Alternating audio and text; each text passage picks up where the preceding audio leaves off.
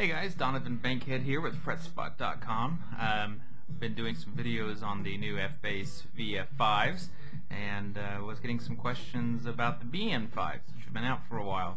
Uh, people why, wondering why there's no love for the BN5, so I'm going to take care of that. So uh, the BN5 is a pretty well-established model for F-Bass. Uh, certainly all F-Bass fans are familiar with it and love it.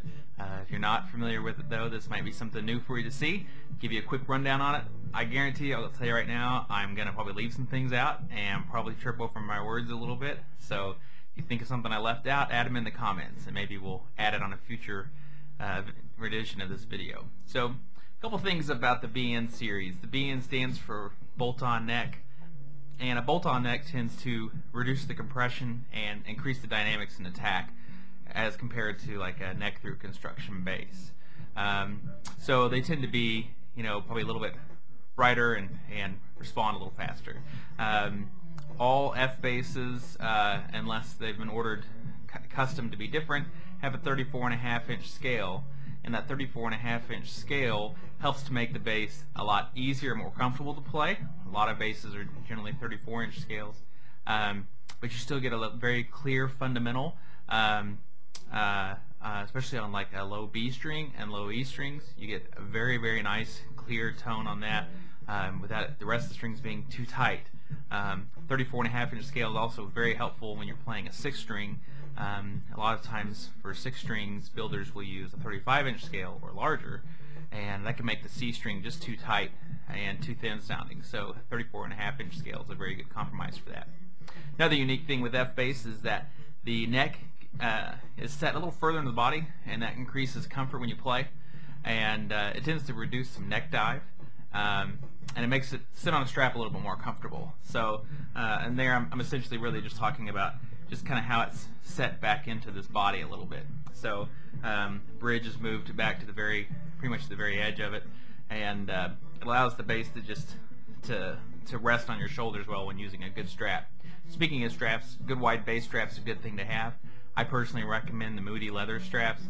Uh, her stuff is absolutely amazing, premium quality leather, something you should definitely check out. If you can't find them, let me know. I'll help you find them. I always have a source. So, uh, a couple other things. You know, I think one of the things that's most striking for people when they see F-Bass are the finishes. And I know for me that was the thing that, that really caught my attention the first time. And you look at these finishes and they're just kind of like over the top. This is a good example uh, one that um, uh, that they that uh, George calls the black and white Cerus or Ceruse. Uh, I believe you can pronounce it either way. You know, I'm in Missouri, so we're going to call it Cerus. All right, that's how we say it here. So, um, but basically, what we have is a black base and the grain of the ash body, which is generally what George uses a lot on his basses, um, has a white filler that's been pushed into the grain, and it just it gives it that really striking striking look.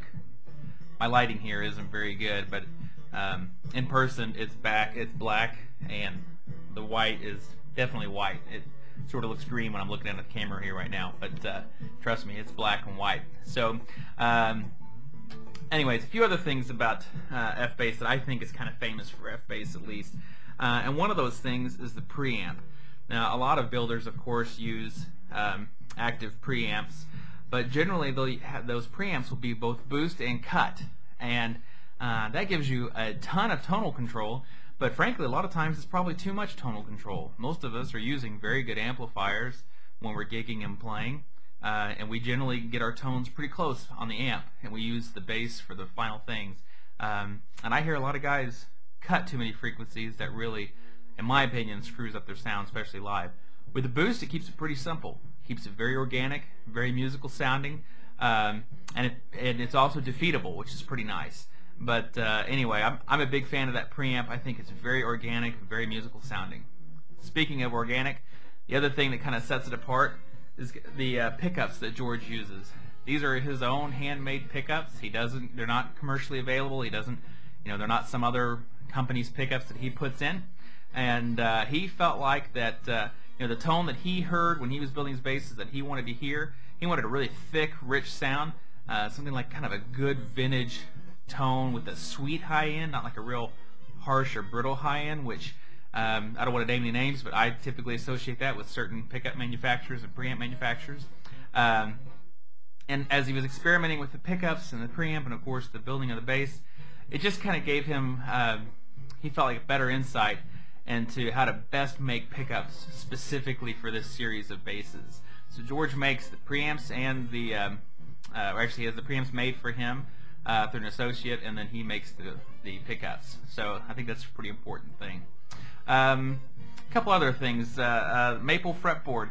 You know, George actually prefers a maple fretboard in his basses. Um, you can get them with uh, rosewood and ebony and other things as well, but his preference all around is is for maple. Um, he thinks that uh, they're a little more bright, a little more alive sounding. Uh, the attack is faster, and when you combine it with an ash body, it gives you just a killer, killer, killer slap tone. So. Um, Ebony's a great one too. Ebony's a little more dense. Um, I love the sound of ebony, and uh, with ebony, you'll, of course, you'll have you'll increase the compression a little bit of the tone, and uh, attack's reduced a little bit, but you know, probably for most of us, we won't really notice it. So um, I'm pretty pretty big fan of maple, so um, I don't have any complaints there. A few little touches too that I think are special about F basses that I want to tell you about, and uh, one one thing is the um, the output jack here. Um, where it's located, you know, a lot of times we'll see an output jack down here in the bottom, um, but George moves it up just a little bit. So when we're using a strap, I keep talking about strap, and of course I'm not wearing one, but it just seems to wrap a little better right there and hang and be out of the way a little bit. So that's kind of a nice touch. Um, something else, the, the, matching wood pickup covers. I think that's probably a pretty striking feature of F-Bass that a lot of people notice. Um, someone, uh, I've gotten questions before asking, do they affect the tone at all? No, they don't. They don't affect it. So um, they just look awesome. So you know, really, what more could you want? It looks great. Doesn't hurt it. So can't beat that.